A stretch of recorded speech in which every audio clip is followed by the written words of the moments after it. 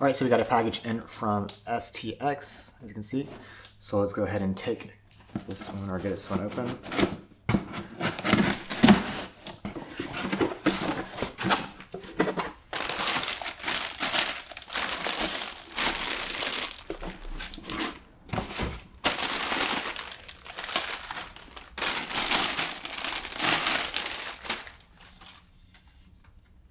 All right, so it's the STX X20.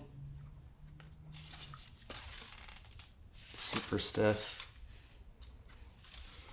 Really cool looking sidewall design. That classic, you know, X10 or Excalibur.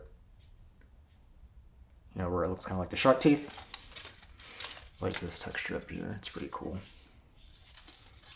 And this plastic also feels different. All right, so it feels pretty good so far. I'm gonna go ahead and get some close-ups of the head itself so the way you guys can see it in a little bit more detail. Stay tuned for more videos featuring this new STX X20 head soon. Go ahead and give the video a like, and as always, thank you for watching.